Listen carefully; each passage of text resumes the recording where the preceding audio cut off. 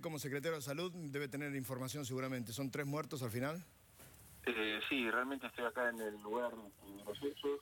Esto ocurrió a las 7 de la mañana en este colectivo que, bueno, que iba en sentido a, a Mar del Plata y volcó sobre este, el lado izquierdo, quedando en esa posición y semi sumergido en, Mm.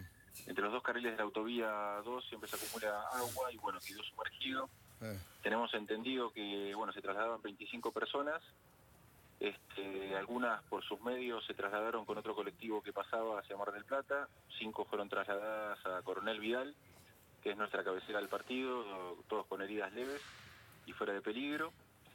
Y mm, este, bueno, hay tres personas aparentemente fallecidas y semi este, sumergidas acá en, en- en este canal que se forma entre, entre las dos este, vías de la autovía y mm, estamos bien? esperando en este momento, está la grúa, estamos con los bomberos, fueron atendidos, bueno, todos los, los demás este, mm, pasajeros de forma rápida. Estamos esperando al fiscal, el doctor Moures, para bueno, Nicolás, ya girar este, este colectivo y bueno, identificar a las víctimas, ¿no? Nicolás, ¿cuánto tiempo después del- eh, de este accidente se enteraron y llegaron al lugar? La gente y todos los No, que están allí trabajando. acá, este, los bomberos, nosotros estamos en, a, a 10 kilómetros desde el hecho, en la unidad sanitaria de Viboratá, que es una unidad muy chiquitita, pero que tiene una dotación completa con ambulancia equipada, y estamos a, a 12, un poquito más, 12 kilómetros desde Viboratá hasta Coronel Vidal, que también eh, tuvimos que trasladarnos desde ahí hasta acá, así que esto fue inmediato junto con los bomberos.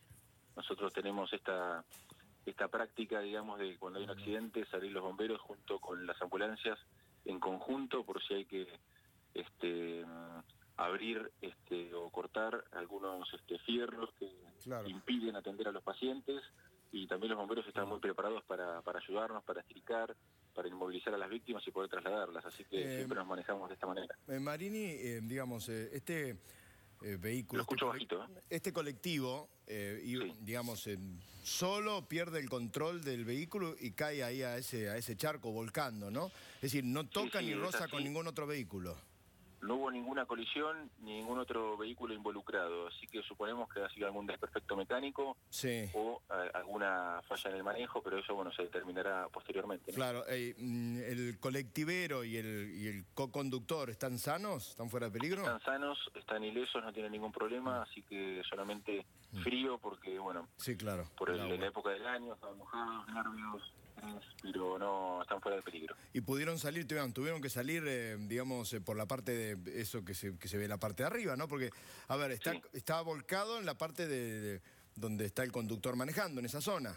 Exactamente, Ah. eh, cuando ya cuando llegaron los bomberos, que es lo que me estaban comentando, y también el equipo de emergencias, muchos este, pasajeros estaban saliendo por la ventana, así que Claro.